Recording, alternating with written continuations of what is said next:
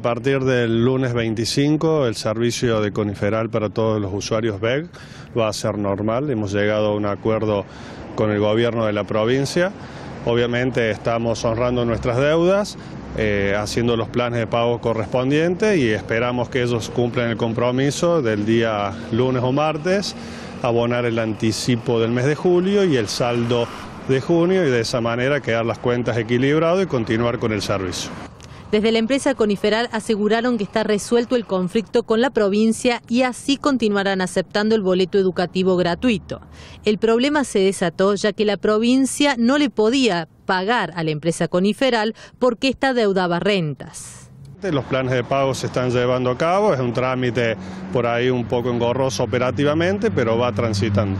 ¿A cuánta cantidad de personas afectaba esta decisión? Y aproximadamente a partir del lunes estamos hablando de 20.000 viajes, 10.000 personas más o menos. O sea que dejamos la tranquilidad que el servicio está garantizado. Efectivamente, a partir del lunes 25 todos los usuarios del BEG, tanto estudiantes como los docentes que están eh, involucrados van a poder ascender a las unidades de todo el servicio, no solamente de Coniferal, sino de todo el transporte urbano. La provincia le debe eh, abonar junio y el adelanto de julio.